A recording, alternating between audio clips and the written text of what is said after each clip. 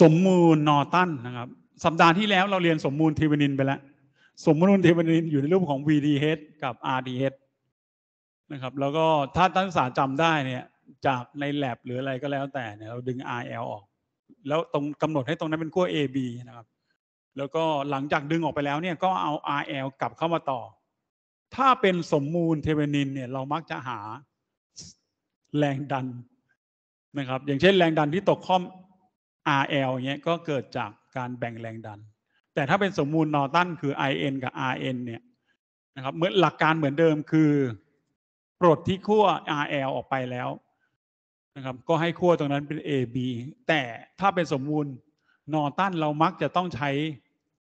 นะครับ อย่างเนี้ย ถ้าเราต้องการหากระแสที่ไหลผ่าน RL เรามักจะต้องใช้สูตรอะไรครับ current divider หรือกฎการแบ่งแรงดันไขว้หารรวมคูณ I ที่นักศึกษาเคยนะครับท่องไปแล้วก็ไปใช้ก่อนสอบ midterm นะครับ ส่วนกฎการแบ่งแรงดันก็แบ่งปกติไปนะครับ ก็ค้นพบโดยวิศวกรชาวอเมริกันนะครับ Edward ลอ Lawry เนี่ยนะ Nortonก็คือพบว่าถ้าบางทีมองให้มันเป็นสมมูลที่เป็นกระแสก็จะง่ายกว่านะครับ สมมูลนอตันหลักการ คิดจะเหมือนกับสมมูลเทวนินเลยหนึ่งก็คือปลด RL ออก ให้ตรงนั้นเป็นขั้ว AB หลังจากนั้นก็พอปลด RL ออกเหลือแต่ขั้วเราไม่สามารถหากระแสอะไรตรงนั้นได้ เพราะฉะนั้นถ้าปลด RL ออก เวลาเราหาสมมูลเทวนินหรือ R ที่เป็นนอร์ตันเนี่ยก็เกิดจากการลัดวงจรนะครับของแหล่งจ่ายที่เป็นแรงดัน กับเปิดวงจร กับแหล่งจ่ายที่เป็นกระแสนะครับส่วน IN ก็ถ้าเราต้องการหา IN ในขั้ว AB ก็เอาตรงนี้ช็อตด้วยเส้นลวด เพราะว่าเราจะรู้ว่ากระแสที่ไหลผ่านตรงนั้นมีค่าเท่ากับเท่าไหร่ ถ้าเป็นแรงดัน short circuit ถ้าเป็น current ให้ open circuit นะครับแหล่งจ่ายแรงดัน อันนี้ก็จะเป็นแหล่งจ่ายชนิดที่เป็นอิสระก็คือ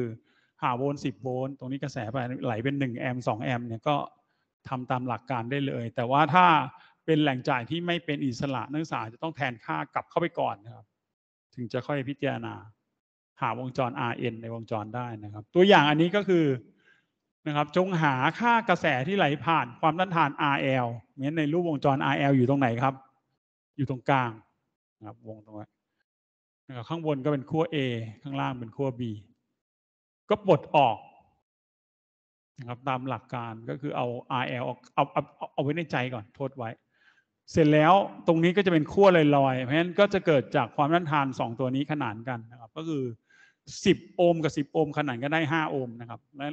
หลังจากนั้นพอเราหา Rn จาก step หนึ่ง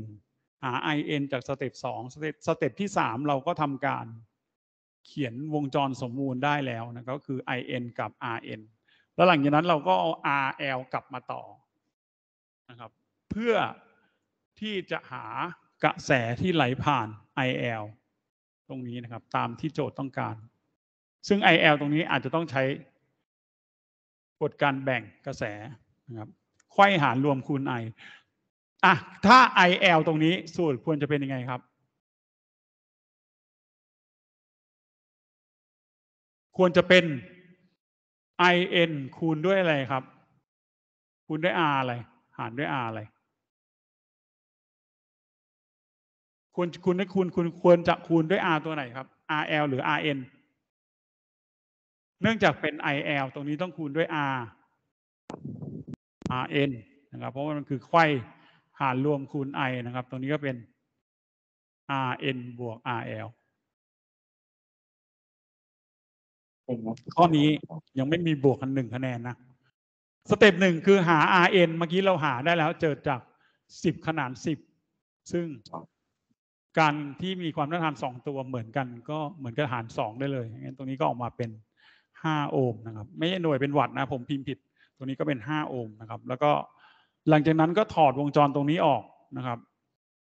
พอถอดวงจรออกก็มีภาพวงจรที่ชัดเจนก็คือสิบ ขนานกับสิบได้ห้าโอห์มซึ่งตัวนี้ก็คือ Rn นั่นเองนะครับพอหา Rn ได้เท่ากับห้าโอห์มแล้วเนี่ย เราก็ขยับไปหาอะไรต่อครับ in in ก็ต้องเขาเรียกอะไรนะเอาเส้นลวดต่อครับเหมือนกับช็อตช็อตตรงนี้ให้มีกระแส in ไหลผ่าน ตอนพิจารณานะครับ เราให้ตรงนี้เป็น i หนึ่งนะครับ กระแสที่วิ่งอย่างนี้เป็น i สอง เพราะฉะนั้น in ก็จะเกิดจากอะไรครับ in ก็จะเกิดจาก i หนึ่งบวก i สองแล้วผมก็แยกพิจารณาทีละซีกนะครับ ถ้าพิจารณาซีกนี้ก่อน ก็จะได้ค่ากระแส i หนึ่งออกมาเพราะฉะนั้นถ้าพิจารณาตรงนี้ i หนึ่งก็เกิดเกิดจากสิบ i หนึ่งนะครับ แล้วตรงนี้ก็เป็นบวกสามสิบเข้าที่ขั้วลบห้าสิบก็เป็นลบห้าสิบเท่ากับศูนย์ เราะฉะนั้นได้สิบ i หนึ่งเท่ากับลบยี่สิบเท่ากับศูนย์เพราะฉะนั้น i หนึ่งมีค่าเท่ากับสองแอมป์หลังจากนั้นผมก็ไปพิจารณาซีกขวาบ้างนะครับ ก็ดึงซีกขวามากระแส in ก็จะวิ่งอย่างนี้ ก็เป็นสิบ i สองนะครับ ตรงนี้ก็เข้าขั้วบวกสามสิบเข้าขั้วลบยี่สิบตรงรวมกันก็เป็นบวกสิบแต่ว่าการบวกสิบตรงนี้พอย้ายไปอีกฝั่งหนึ่งมันก็จะกลายเป็นอะไรครับลบสิบ ออนไลน์มีอะไรปะตรงนี้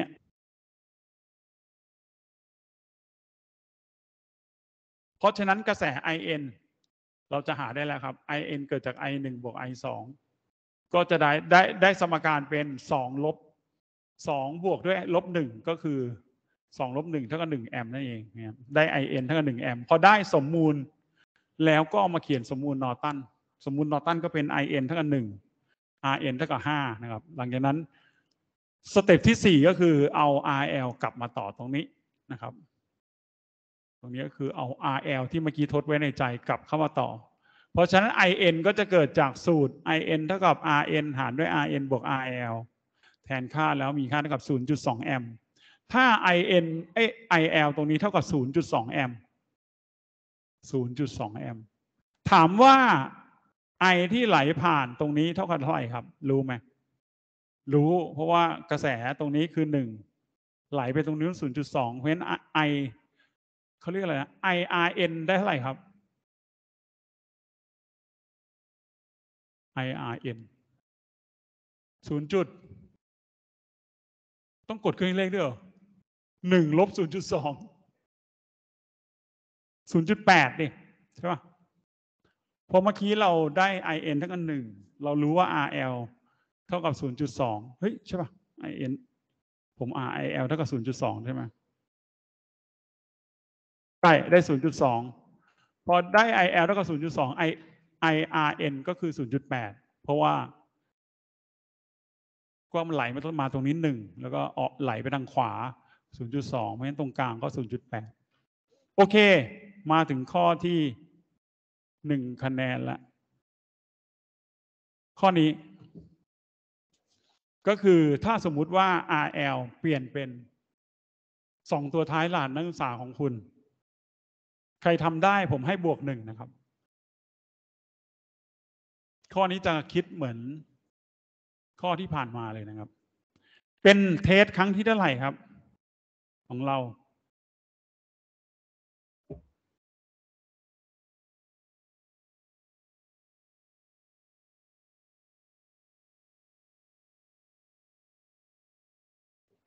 ผมสร้าง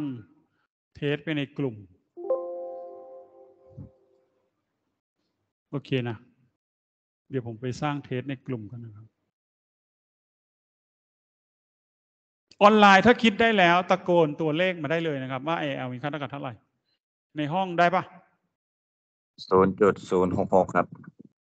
โอ้โหเร็วมาก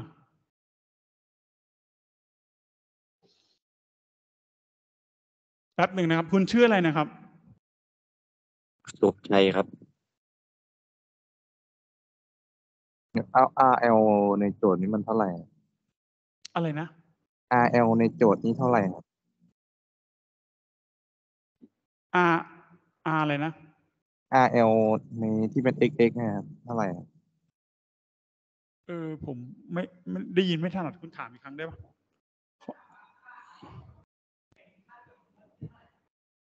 IL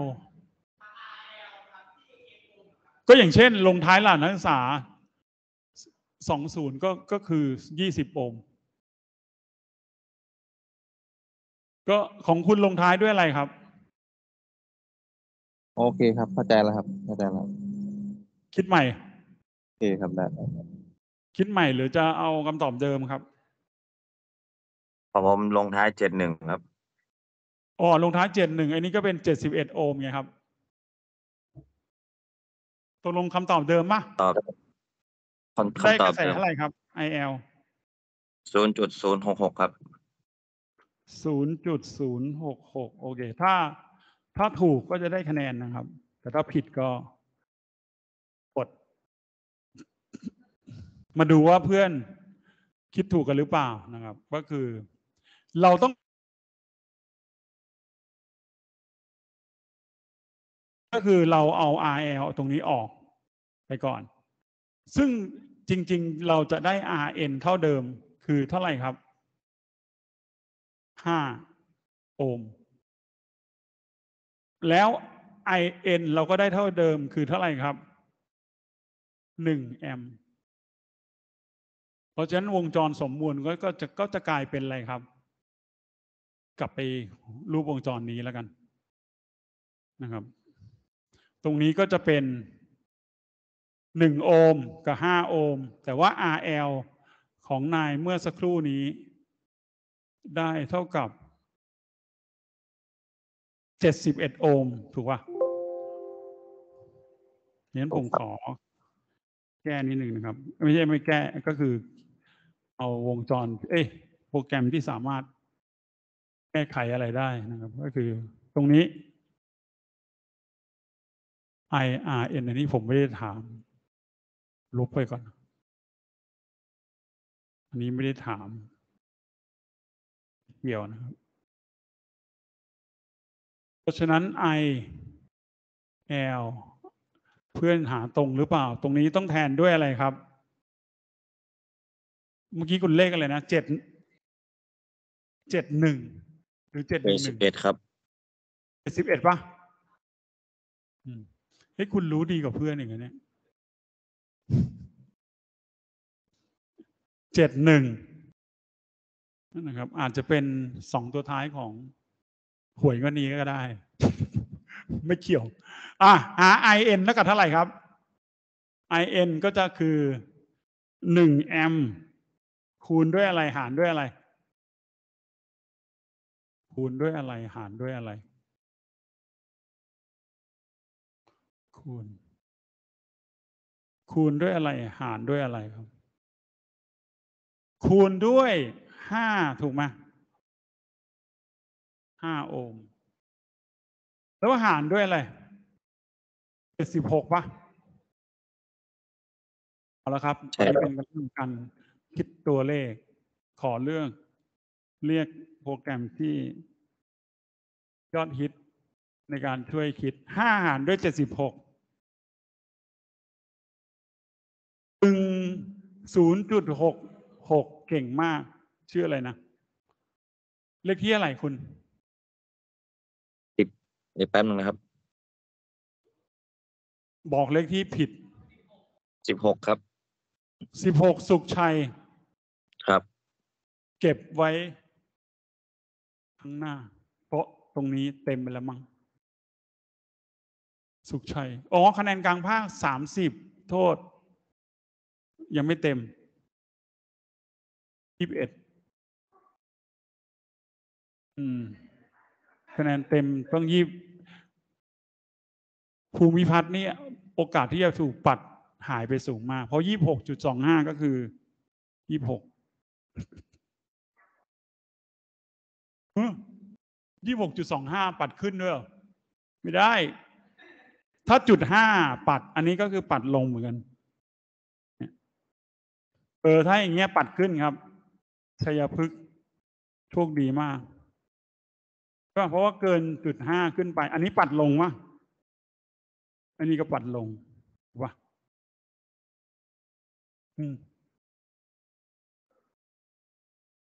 เนี่ยสิบสามจุดหนึ่งสองห้าปรับขึ้นได้ไง ก็หนึ่งสองห้าก็ลง ผมปัดตามเขาเรียกอะไรนะ มาตรฐานโลกนะครับ ก็ไอเนี้ยอย่างเงี้ย ผมก็ไม่ปั่นลงครับ ก็เป็นแปดถูกปะก็ประมาณนี้นะครับ ไม่เป็นไร เดี๋ยว แก้ตัวจากการทำไปทำเทสขออีกสักข้อหนึ่งได้ไหมครับ ข้อนี้คืออันนี้พอเปลี่ยน RL มันง่ายไงเราไม่ได้จัดการอะไรเกี่ยวกับ RN กับ IN เลย เพราะฉะนั้นขอสักข้อหนึ่งที่ เปลี่ยนมันทั้งคู่เลยครับ RN ไอ้ RL เท่ากับ XX โอห์มและเปลี่ยนตรงนี้ให้เป็น เปลี่ยน 10 โอห์มให้เป็น ให้เป็น xx ด้วยนะครับคุณจะไปคิดอะไร มากมายเกี่ยวกับ xx นะก็คือตัวแปรสองรหัสตัวท้ายนักศึกษาของคุณ เปลี่ยนให้หมดเลยนะครับ เป็น xx ให้หมดเลย ซึ่งอันนี้ก็เป็น xx ด้วย อ่า อันนี้ค่อยเหมาะสมกับความสามารถของพวกคุณหน่อยหนึ่งข้อเมื่อกี้มันง่ายไปไอ้นี่ก็ xx อย่างเช่นตรงนี้เจ็ดหนึ่งเจ็ดหนึ่งอันนี้ก็เจ็ดหนึ่งแต่เจ็ดหนึ่งหมดสิทธิ์แล้วนะบวกหนึ่งสำหรับคนที่ คิดคำตอบได้ถูกต้อง แต่ต้องใช้รหัสนักศึกษาของคุณเองนะครับ ขออนุญาตไปสร้าง assignment ก่อน เพราะว่าเดี๋ยวจะลืมนะครับ นักศึกษาก็คิดไป ใครคิดได้ก็ตะโกนขึ้นมา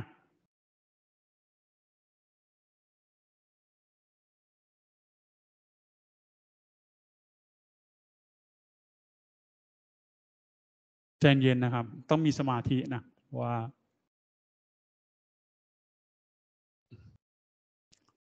สครั้งนี้จะเป็นเทสครั้งที่เท่าไหร่ละโอ้ไปสร้าง Active Learning นี่ไม่ลืมเลยนะครับ เดี๋ยวอธิบายให้ฟัง เทสวันนี้เทสที่เท่าไหร่อะ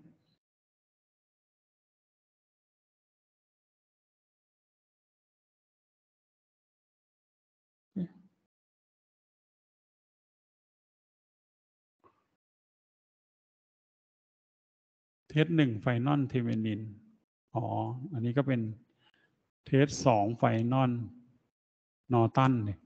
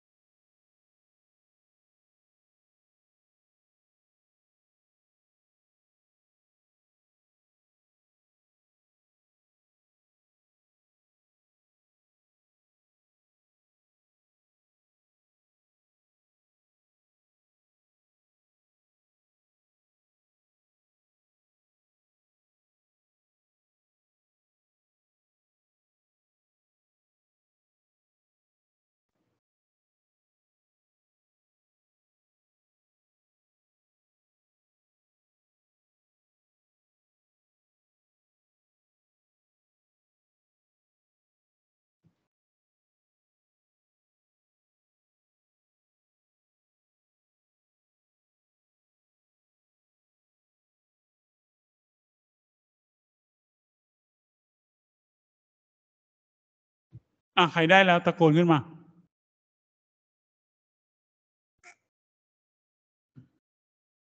ใช้เวลานิดหนึ่งเพราะว่า อันนี้ผมเปลี่ยนตัวเลขค่อนข้างเยอะ มันก็เลยดู มันจะดูยากขึ้นมานิดหนึ่ง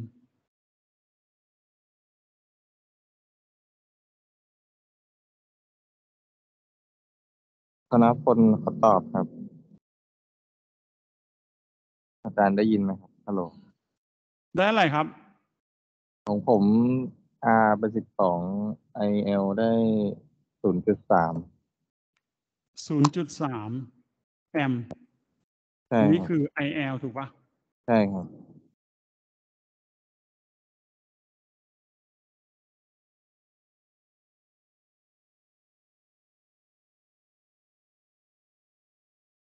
รหัส XX คืออะไรนะ สิบสองรหัส XX สองสิบสองทีนี้ผมไม่ได้ยิน ใช่ครับหรือสิบมีสองครับสิบสองสิบสองใช่ปะใช่คสรัอบงโอห์มนะครับสิบสองโอห์มโอเค มาดูว่าธนพลคิดถูกไหมครับ เขาได้ IL เท่ากับ0.3แอมป์ถ้าตรงนี้เป็น 12 12 นะครับ RN ได้เท่าไหร่ครับ ธนพล ได้หกครับ ได้6โอห์ม แล้ว IN ได้เท่าไหร่ครับ ศูนย์จุดแปดสี่ครับ เดี๋ยวขอเช็ค 0.84 คุณว่าถูกหรือเปล่า นิดนึงครับ ก็คือ วนสมการนะครับ เรารู้ว่า in แล้วก็ i หนึ่งบวก i สองนะครับ ถ้าอันนี้คือ ลูปลูปทางลูปทางซ้ายใช่ไหมลูปทางซ้ายก็คือลูปที่หนึ่งสมการที่ได้เราจะได้สิบสอง i หนึ่งถูกปะสิบสอง i หนึ่งแล้วก็ตัวเลขตรงนี้ก็เป็นบวกสามสิบกับลบห้าสิบย้ายไปอีกฝั่งหนึ่งก็เป็นเท่าไหร่ครับยี่สิบ เพราะฉะนั้น i หนึ่งคุณก็เดินคุณได้อะไรธนพลไอหนึ่งได้หนึ่งจุดหกครับเอ้ยหนึ่งจุดหกคือเจ็ดยี่สิบส่วนสิบสองได้หนึ่งจุดหกเจ็ดได้หนึ่งจุดหกเจ็ดครับเอามาดูลูป i สองบ้างดีกว่านะครับลูป i สองขอเปลี่ยนเป็นสี น้ำเงินบ้างลูป i สองก็คือลูปทางด้านหลังนะ ลูป i สองเราก็จะได้สมการเป็นสิบสอง i สองถูกไหมใช่ครับสอง i สองเท่ากับลบอะไรครับสิบเพราะฉะนั้น i สองของธนพลได้ ลบศูนย์จุดแปดสามลบ0.83จริงหรือไม่นะครับ ขอเทสนิดนึง เราก็เอาลบ10 อะลบนี่เฮ้ยมีครั้งค่าเก่าอีกลบ10หารด้วย12ลบ0.83ถูกต้องเห็น in ได้อะไรครับ ศูนย์จุดแปดสี่ครับ in ก็จะเกิดจาก1.67ลบ 0.83 เท่ากับพี่ของผมลบกับลบผิดละ ต้องเป็น 1.67 ลบ 0.83 เฮ้ย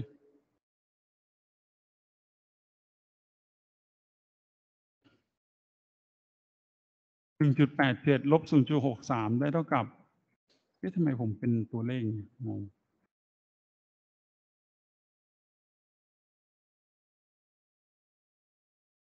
ได้เท่ากับศูนย์จุดแปดสี่ถูกต้องนะครับ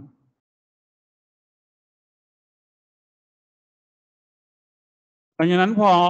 เอามาแทนสมมูลก็จะกลายเป็น in เท่ากับ 0.84 เพราะฉะนั้นกระแสที่ไหลผ่านตรงนี้ก็คือ in เท่ากับ 0.84 คูณด้วยอะไรครับ r ตัวไหน เออก็คือ 12 เฮ้ยจริง ๆ มันก็คือ คุณได้12กับ12เท่ากันใช่ป่ะเอออืม ก็มีค่าเท่ากับ0.84หาร2ได้เท่าไหร่ครับ0.84หาร2 0.42ใช่ไหม หรือผมคิดผิดเนี่ยวงจรของคุณก็จะเป็น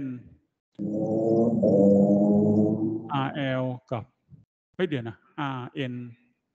RN คุณได้อะไรนะเอ็นหกครับอาจารย์ RN ได้ได้หกอ๋อ ไม่ใช่ผมคิดผิดละ ตรงนี้ต้องเป็นหกกับสิบสองใช่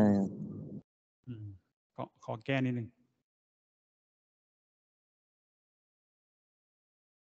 อะไรนะ เดี๋ยวเดี๋ยวแป๊บนึงกำลังจะเขียนไงเดี๋ยวขอลบอันเก่านี้ทิ้งก่อนนะครับ R N อันนี้ไม่เกี่ยวนะครับ Rn ของคุณหาได้เท่ากับหกแต่สองตัวท้ายรหัสนักศึกษาของคุณก็คือสิบสองงั้นตรงนี้ RL ก็คือสิบสองใช่ไหมใช่ครับ เพราะฉะนั้นเอาศูนย์จุดแปดสี่นะ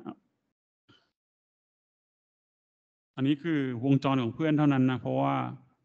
แต่ละคนโจทย์จะไม่เหมือนกันนะครับ กระแส 0.84 ไหลผ่าน ความต้านทานสองตัวนี้นะครับ ก็มีค่าเท่ากับ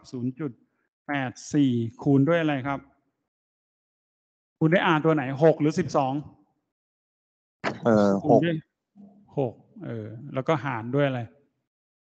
หารด้วยสิบแปด18 ถูกต้อง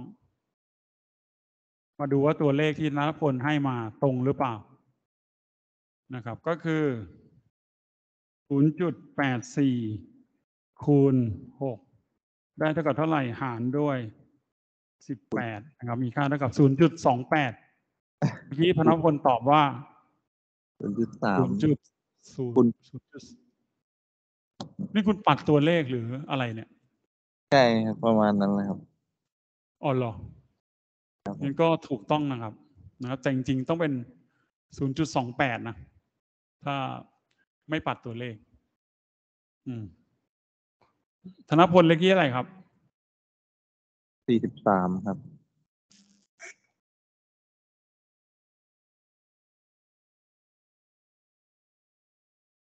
อ๋อ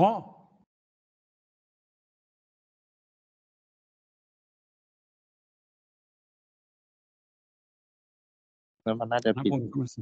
สิบห้านะ เออ เอาใหม่นะ ข้อสักครู่นี้ที่ธนพลคิดก็คือ เอาอันนี้ก่อนนะ น่าจะ อะไรนะ น่าจะ น่าจะคูณผิดนะครับ เออ ไม่เป็นไร แต่ว่าผมคิดว่าคุณปัดตัวเลขเป็นจาก 0.3 เป็น 0.28 คุณโชคดีมากที่คำตอบคือ 0.28 เนี่ย เพราะมันใกล้เคียง 0.3 ก็ถือว่าถูก มาดูธนพลนะครับ ธนพลก็คือตัวเลขพวกเนี้ยจะเป็น 12 หมดเลย อะมาดูใหม่นะครับ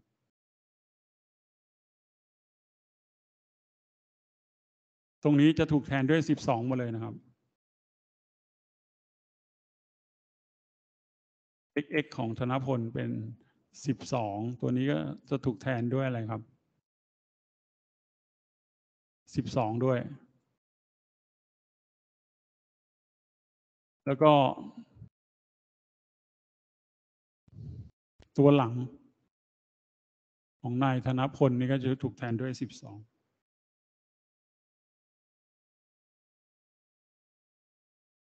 พอเป็น12หมดเนี่ยนะครับ เวลาหา Rn ทำไมหา Rn ได้6ครับ เพราะตรงนี้เราเอา Rl นะครับ กลับไปไว้ในใจก่อนนะครับโยนไปก่อนเลย ตรงนี้ก็จะเป็นขั้ว AB ลอยๆ12ขนาด12ได้6ถูกต้องแล้วนะครับ อันนี้ อันนี้ถูกต้อง 12 ขนาด12 ได้ 6 ต่อไปหา In ของธนพลนะครับ In ก็คือที่ลูมหนึ่งนะครับลูปหนึ่งก็คือลูปนี้นะครับ ที่กระแสวิ่งอย่างนี้ นี่คือลูปที่กระแส i หนึ่งลูปที่กระแส i หนึ่งก็จะมีนะครับสิบสอง i หนึ่งตรงนี้เข้าขั้วบวกสามสิบกับลบห้าสิบก็เป็น ลบยี่สิบย้ายลบยี่สิบมาเป็นบวกยี่สิบเท่ากับ i i หนึ่งเท่ากับหนึ่งจุดหกเจ็ดนะครับ เกิดจากยี่สิบหารสิบสอง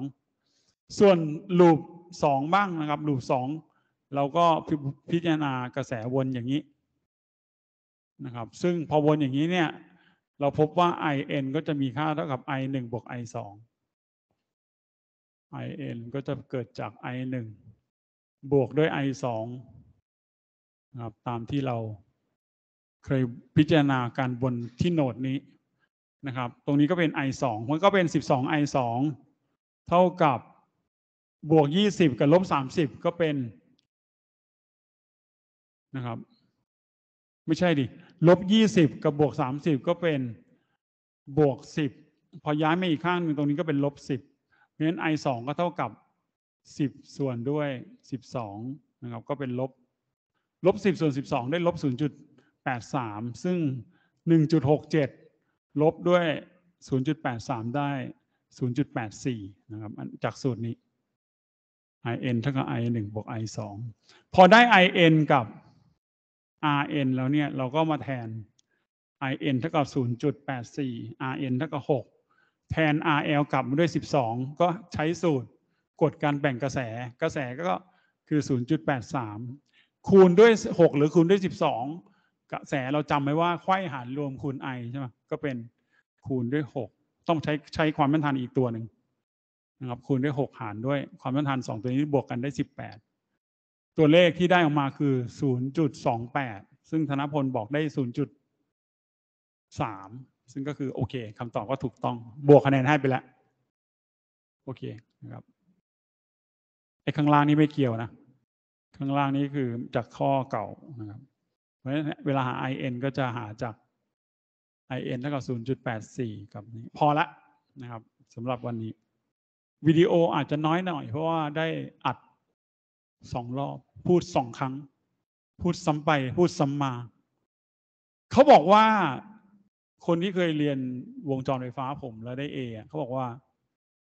หนึ่งเรื่องเนี่ยเขาฟังประมาณสิบรอบได้เอผมก็เชื่อนะ ฟังจนแบบว่า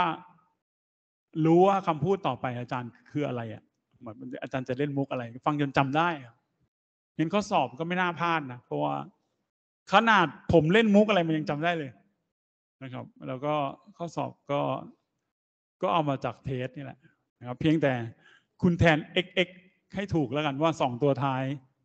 รหัสนักศึกษาของคุณเองคืออะไรนะครับ ก็ เออลืมบอกไปนะครับ ก็แอดไซน์ไปแล้ว Norton ให้เวลาถึงวันที่ 15โนเวม ber test มีข้อเดียวเองนะครับก็ไปเปลี่ยน xx ที่ rl นะครับ test อยู่นี่นะสำหรับคนที่ชอบมาถามผมว่าอาจารย์ครับ เทสอยู่ไหน ก็แสดงว่าคนถามก็น่าจะไม่ได้เข้าเรียนนะครับเพราะว่าเทสมักจะอยู่ท้ายเนี่ยเนี่ย ก็คือเปลี่ยน RL เป็น XX ของคุณเองแล้วก็ไปทำส่ง ให้เวลาถึง 15 โนเวม ber ผมว่า กินข้าวเสร็จก็ทันแล้วมั้ง เดี๋ยวก็เสร็จแล้วนะครับ แล้วก็ Active Learning ให้ทีเดียวเป็นชุดเลยนะครับ ให้ตั้งแต่เรื่อง Lab 6 Norton นะครับ ส่งภายในส่งก็ดีแล้วเพราะว่า due date คือวันพรุ่งนี้ แล้วก็ Lab 7 Maximum Power Transfer Deadline 8 Lab 8 Deadline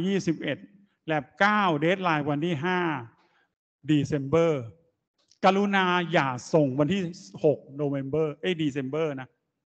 เพราะว่าผมจะตัดเกรดวันที่ 5 ส่งวันที่ 6 ไม่ได้มีประโยชน์ครับไม่ต้องส่งแล้ว เพราะว่า Lab สุดท้ายคือ Lab 9เรื่องตัวเก็บประจุเนี่ย ผมก็จะตรวจวันที่ 5 แล้วก็จะตัดเกรดวันนั้น ก็คือขอตรวจงานส่ง วันที่5คือวันสุดท้ายนะครับ ใครจะส่งเลทวันที่6วันที่อะไรไม่มีประโยชน์นะครับ ตัดไปแล้ว เพราะฉะนั้นส่งตามตารางแลบนอตันที่เป็นเทสไม่ใช่แลบเทสสองนอตันเนี่ยก็ให้เวลาเยอะหน่อยก็ได้นะครับ เพราะเดี๋ยวสัปดาห์อื่นก็จะเป็นเทสในหัวข้อถัดไปนะครับ นอกจากนั้นก็ไม่ไม่ไม่น่ามีอะไรละวันนี้ตัวเลคคอร์ดก็ไม่น่ายาว เพราะว่า สองรอบ สต็อปก่อนนะครับ แล้วขอเช็คชื่อ